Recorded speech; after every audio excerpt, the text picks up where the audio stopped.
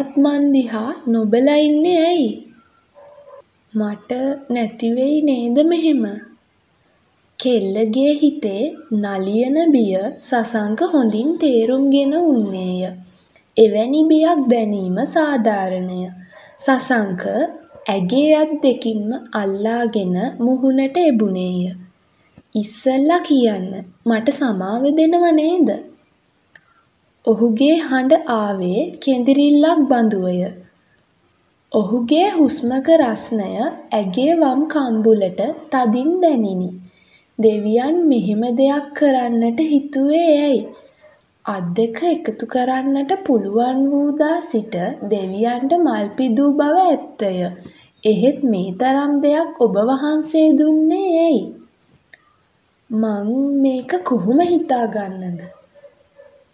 මං ලොකු සර්ට මගේ අප්පච්චිට වගේ ආදරෙයි. අසංක අයියේ මං රන්තරුවෙකුටත් එච්චරටම ආදරෙයි. සසංකට ඇය කතා නොකර බිම බලාගෙන උන්නාය. වන්දනාගේ දැස් පලාගෙන මෙන් කඳුළු වැగిරෙන්නට විය. ජීවිතේ ආදරය කළේ එක දෙයියෙක්ට විතරයි. ආයේ ඒක වෙනස් වෙන්නේ නෑ. ඒත් ඇයි මට නැති වෙයි. පපුව හාරාගෙන මෙන් එහෙම හැඟීමක් එන්නේ ඇයි? මගේ නෝනව මට හැමදාම ඕන. කවුද මේ වගේ පින්පාට නෝන කෙනෙක් නැති කරගන්නේ? මෙහෙම කතා කරන්නේ සසංකමද? රන්තරු ආයතනයේ හිමිකරුද? ප්‍රසිද්ධ ව්‍යාපාරික ප්‍රේමදාස මුදුන්කොටුව මහතාගේ එකම පුතාද? හිතා ගන්නට අමාරු දේ ඒකය.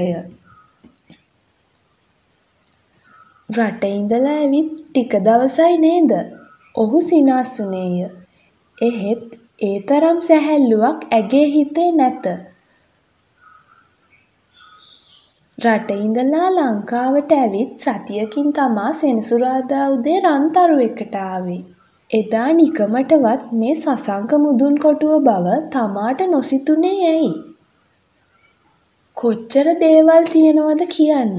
හැමදාම වගේ විස්තර ඇහුවා. මං කිව්වේ නෑ. ඒත් මාව විශ්වාස කළා. මට හැමදාම ළඟ ඉදිද්දි හරි බලගතු හැඟීමක් දැනුණා. ඒත් කාට කියන්නද මම? කියන්නට හිතනා දෙයක් කියවෙන්නේ නැත. එකපාරක් මට කියන්න සමාව දුන්නා කියලා. වෙනදා වගේ hina වෙලා උදේ පන්සලේදී hina වුණා වගේ. ඔහු අසංක වුව සසංක වුව මේ හදවත ඔහුට කොතරම් ආදරය කරනවාද? එහෙම කියන්න එපා මට හරි බයයි. අසංක අයියට ආදරය කරද්දී එහෙම බයක් දැනුන්නේ සසංක ඇගේ හිස මත සුරත තබාගෙන මහා දුකින් ඈත බෝල්ගොඩ වැවට වැටෙන වැහි පොද දෙස බලා උන්නේය. ඇය ඔහු දෙස බලාගත් වනම බලා උන්නාය. හදවත පුරා උහුලාගත නොහැකි ආදරයක් නහර දිගේ ගලා එන්නාක් මෙන් විය. අසංක අයියේ ඔහුගේ දැස් බොර පාටට හැරී ඇත්තේ ඇයි? ඇය ඔහුගේ පය පාමුල ඉඳගෙන ඒ දෙපා වලට දෑත් තැබුවාය. අසංක අයියේ අනේ ඇයි මාත් එක්ක තරහ වෙලා වගේ. වන්දනාගේ කම්බුල් හරහා අලුත් කඳුළු පාරවල් දෙකක් ඇදී ගියේ කම්බුල් කපාගෙන මෙනි. අනේ දෙයියෝ ඔයා අසංක වුණත් සසංක වුණත් මගේ නේද? මට ඔයාව නැති වුණොත් කොහොමද මං දරාගන්නේ? වන්දනා ඇසුවේ අඬමිනි. ඔහු ඇගේ මුහුණට දෝතම ගත්තේය. අපි ඉක්මනටම බඳිනවා. මං මගේ නෝනව ඔයාගේ ලොකු සර්ගේ ගෙදරටම කැන්දගෙන යනවා. එනවා නේද? දෙවියනි එවැන්නක් හිතාගන්නේ කෙසේද? මාව එක්කගෙන එන්න. මගේ තාත්තයි නංගි අහිංසක මිනිස්සු. එයාලා බලන් ඉන්නේ මේ වගේ අහිංසක නෝනා කෙනෙක් ඒ ගෙදරට එක්ක එනකල් තමා.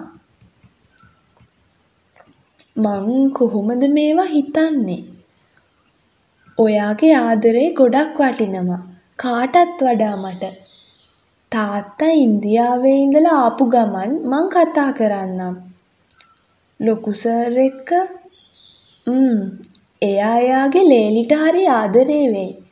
වන්දනා ඔහුගේ දෑස් දෙසම බලා උන්නාය. ම්ම් අසංක අයියා කියන්නද සසංක අයියා කියන්නද?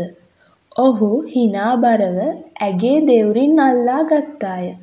අසංක අයියා කියන්න. එයාටනේ ආදරේ.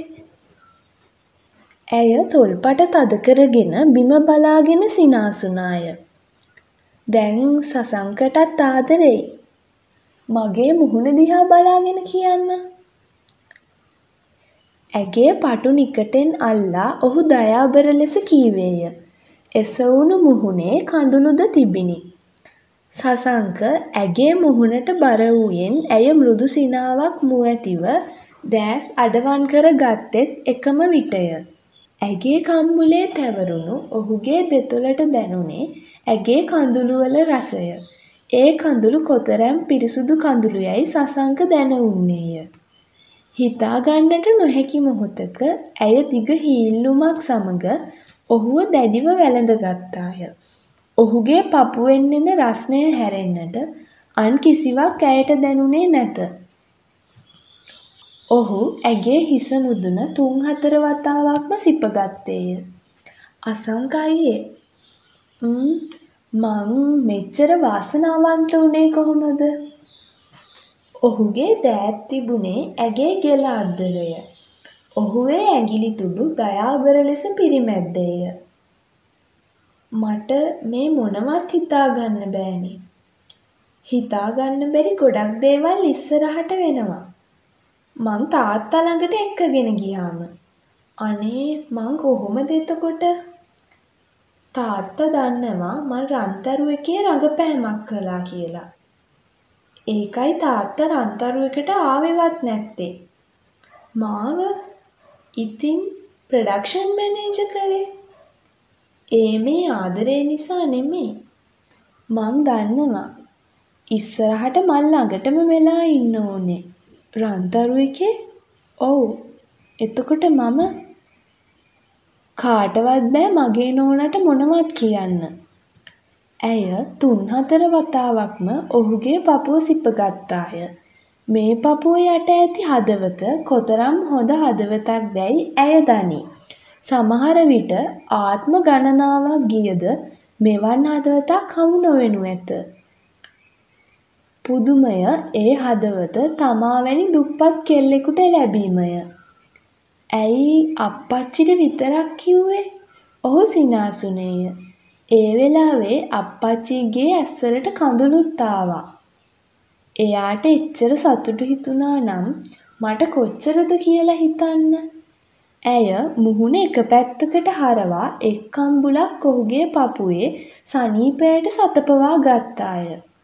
බෝල්ගොඩ පරිසරයට වැටමින් තිබූ වරුසාව වැඩි වී තිබිණි. ඒත් සමගම වාගේ ඔහුගේ කලිසම් සාක්කුවේ තිබූ ජංගම දුරකථනය නාද වෙන්නට විය. එය කලිසම් සාක්කුවට අත යවා ගත්තේ ඇයමය. පිටරට කෝල් එකක්. ඔහු ජංගම දුරකථනය අතටගෙන කීවේය.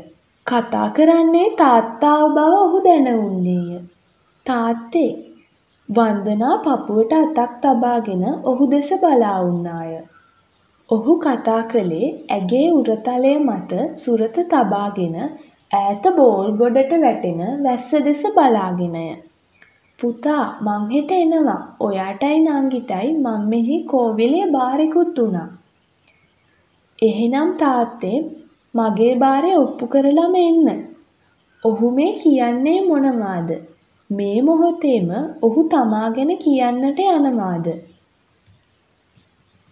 මේ වෙච්ච ගමන් තාත්තා ඉක්මනට ලංකාවට එන්නකෝ. මං එයාපෝට් එකට එන්න ඕනි කීයටද තාත්තේ? ඔහු තාත්තා සමග කතා කරද්දී ඇය දිගටම වැස්ස දෙස බලා උන්නාය.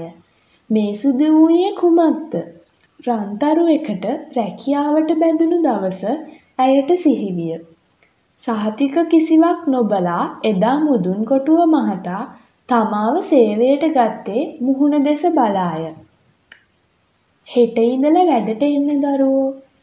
එදා ඔහු සිනාබරව කීවේය. එසේ වූයේ ඇයි?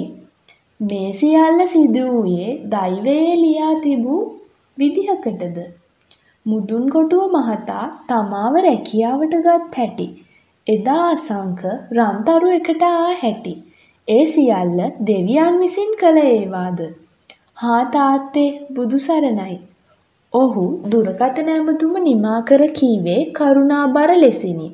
ඇය වැස්ස දෙසට යොමු වූ දෙනෙත් ඔහු වෙතට ගෙන ගියේ ඒවා බොඳ වී තිබියදීය. ලොකු සර් මං ගැන කොහොම හිතට දැනෙන එකම බර ඒකය. මුදුන්කොටුව මහතා හාම්පුතෙක් ලෙස කොතරම් කරුණාබර කෙනෙක්දැයි වන්දනා දනී.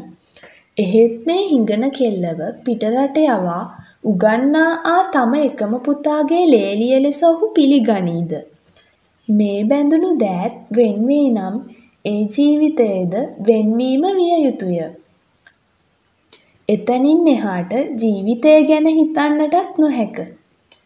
මගේ තාත්තා ගැන මං දන්නවා. ඔහු කීවේ විශ්වාසයෙනි. වන්දනා නෙතට එකට ඇලී තිබූ දෑස් එසෙව්වාය.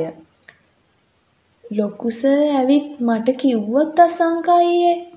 කෙල්ල කියන්නට හදන දේ ඔහු දැන උන්නේය. තාත්තා අතින් එහෙම වරදක් නොවන බව ඔහු දැන උන්නේය. ඉන්දියාවේ යන දවසේ නංගීට කීවෙත් දුප්පත්ම කොල්ලෙක් හරි කමක් නෑ ඔයාට ආදරේ තියෙන කොල්ලෙක්ව හොයාගන්න කියලා. එයා එහෙම කෙනෙක් නෙමේ. වන්දනාගේ හිතට තුනී සැනසීමක් දැනිනි. ඇය ඔහුගේ උරතලයට බර වී ඇත.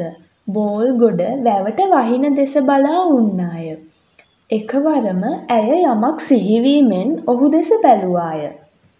පව් මාත් එක්ක බස්සලත් ඇවිද්දා. එදා පොලෙත් ආවා. ඉතින් රන්තරු එකේ සර් එහෙම යනවා කවුරු හරි දැක්කනම් ජීවත් වෙනවා කියලා දැනුනේ එදා. ඔයා මගේ ජීවිතේ ගොඩක් වෙනස් කළා. සසංක කීවේ ඇගේ හිස අතගාය. ඇය ඒ අතගෙන සිපගත්තාය. නැත වෙනසක් නැත.